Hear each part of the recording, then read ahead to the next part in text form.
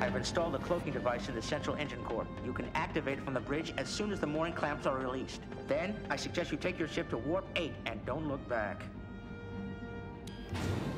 Now, please, make your goodbyes brief. Oh, what's the rush? You've betrayed us. No. Don't. I'd hate to ruin such a nice suit. Why are you doing this? Our exile tends to wear a bit thin after a while, even with surroundings as pleasant as these. Fine. Take them, but leave Natima alone. Quark! No, he's right. We're the fugitives, not you.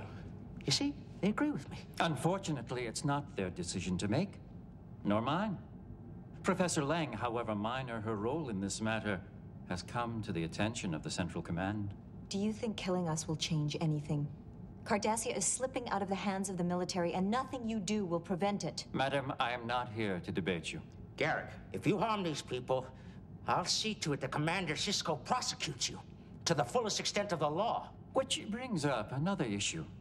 Quark, things would have gone much easier if you'd taken my advice and not gotten involved with these people.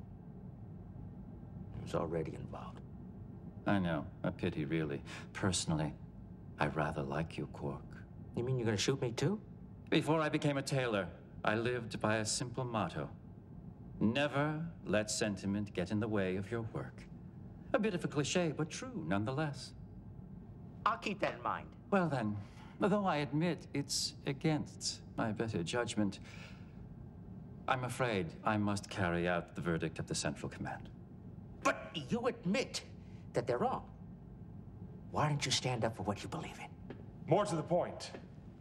What do you believe in, Garak? What are you doing here, Toran? Making sure that you carry out your assignment. I suspected that two years living among the Bajorans would make you soft. I see that I was right. You've never been right about anything. Now step aside, Toran, and allow me to finish this sorry business. I will take over from here. Why?